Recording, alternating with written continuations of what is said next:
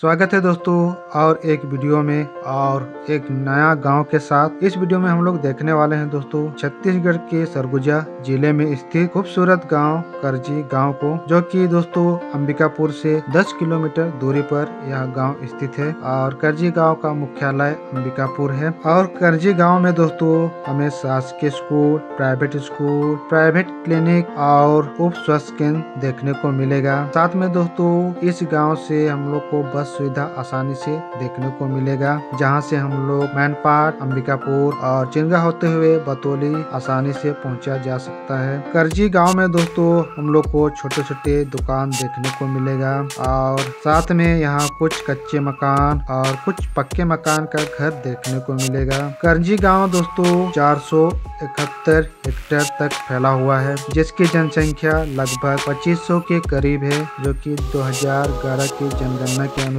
तो चलिए फिर दोस्तों देखते हैं विस्तार से करजी गाँव कैसा देखने को मिलेगा। अगर आप करजी गाँव से हैं या करजी गाँव को जानते हैं तो कमेंट करके बताना करजी गाँव आप लोग को कैसा लगा। और करजी गाँव में क्या क्या बदलाव देखने को मिलता है।